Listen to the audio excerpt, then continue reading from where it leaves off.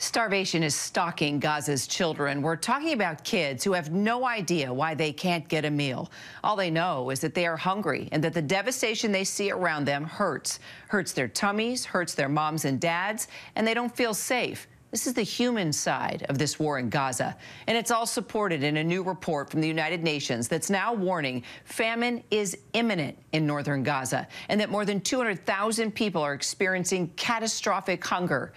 And it is times like this, we always find UNICEF's James Elder. He has made multiple trips to the region since the start of this war, and he's been documenting it for us like this. Heading back into Gaza now. Outrageous how many life-saving supplies are so desperately close to those who need them.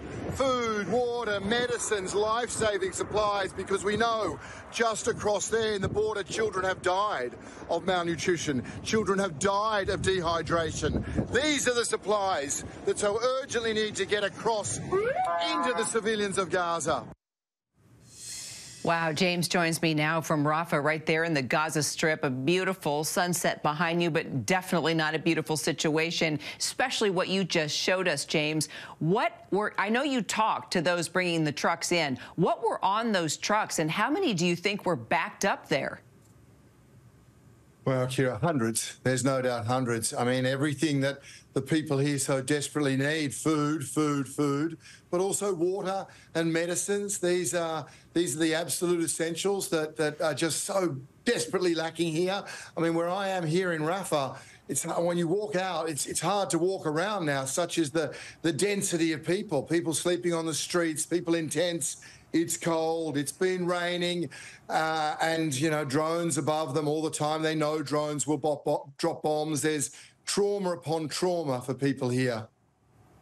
And all right, tell us what you have seen with regard to these children and families not being able to get food. And now we're talking about starvation. We're talking about famine. I can't even believe that we had an interview with an Israeli official a couple of weeks ago saying, no, there's, there's no starvation going on. Tell us what you're seeing. I know it's it's it's something very that really pierce, pierces one's sort of soul, if you will, Kyra. When today, not once, three, four, five times, women, mums would you know, hold hold my hand and just ask for anything, for some water.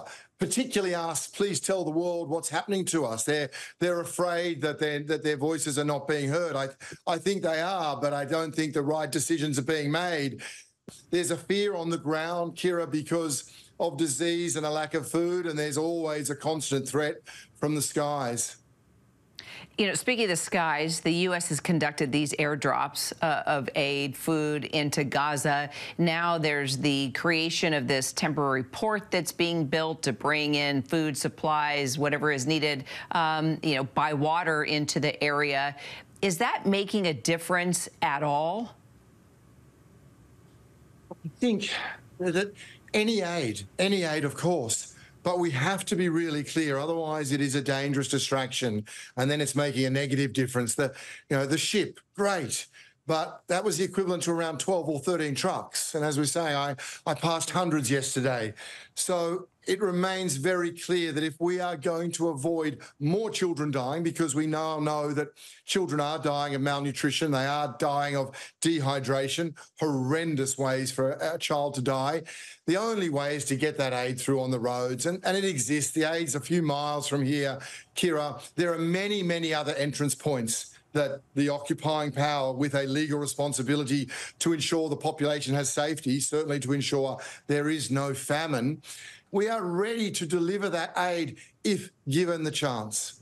Just seeing these kids with their bowls uh, waiting there uh, through the, the metal fence to get something to eat, it's just heart-wrenching, especially as a mom, James. As you mentioned, you're there in Rafah. Um, Israel is said to be pr preparing uh, yet another launch um, and another offensive there. Uh, despite international outcry, there's more than a million Palestinians sheltering there in Rafah, uh, trying to flee the fighting. Can they, though? And, and tell me what UNICEF is doing right now to just prepare for all this. Yeah, Kyra, so I, I, glanced at those images too, and they're, they they are everywhere here. And, and you're right. I mean, unless you're a you're a doctor here, there is a great can be a great sense of futility to have the smallest children just just ask for anything, and again to know it's so close. This is the desperation these little children are are feeling right now. Rafah, as you rightly say, now has more than a million people. Rafah is a city of children. Rafah has twice the population density of New York City, but no high rises. Everyone is literally on the ground.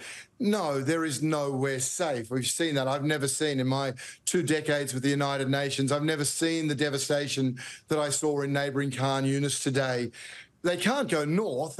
Two thirds or more now, I guess, of homes have been destroyed. There's nothing to return to. Um, so the idea that the people can be moved from A to B, they have moved. They have moved three or four, five times. They have taken the authorities' word to move and keep moving to a safe zone. Now they understand there is nowhere safe. An offensive in Rafah, in this city of children, uh, where now more than half of Gaza's population is hiding, fleeing. No, that's that's that's apocalyptic. I I, I think everyone is terrified, but realistic that this somehow might actually happen. Well, you have power with your interviews, your experience, your your cell phone, and showing us the images that you've been able to share with us. Please keep doing that for us, James Elder. Uh, we admire what you're doing, and of course, what UNICEF always does in countries and, and crises like this. Appreciate you, James. Thank you. Hi, everyone. George Stephanopoulos here. Thanks for checking out the ABC News YouTube channel. If you'd like to get more videos, show highlights, and watch live event coverage, click on the right over here to subscribe to our channel. And don't forget to download the ABC News app for breaking news alerts. Thanks for watching.